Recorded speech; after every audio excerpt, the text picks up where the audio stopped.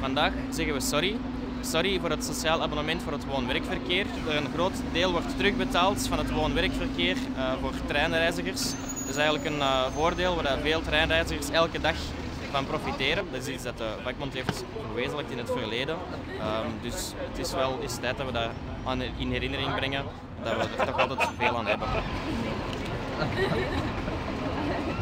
Sorry, omdat er vaak wordt geconcentreerd op de negatieve impact uh, die een vakbond kan hebben op het dagelijks leven van mensen. Uh, ik denk dat we dan bijvoorbeeld denken aan stakingen waar mensen wel eens last kunnen van ondervinden. Uh, maar er wordt weinig geconcentreerd op de vele zaken die een vakbond al heeft verwezenlijkt in het verleden. Wij zeggen op één punt sorry. Sorry omdat we af en toe eens staken. De mensen reageren er zeer positief op, denk ik. Ik denk dat mensen het wel leuk vinden om s morgens uh, begroet te worden met een leuke boodschap. Daarom zeggen we vandaag gewoon sorry. 1 april, sorry dag. Sorry.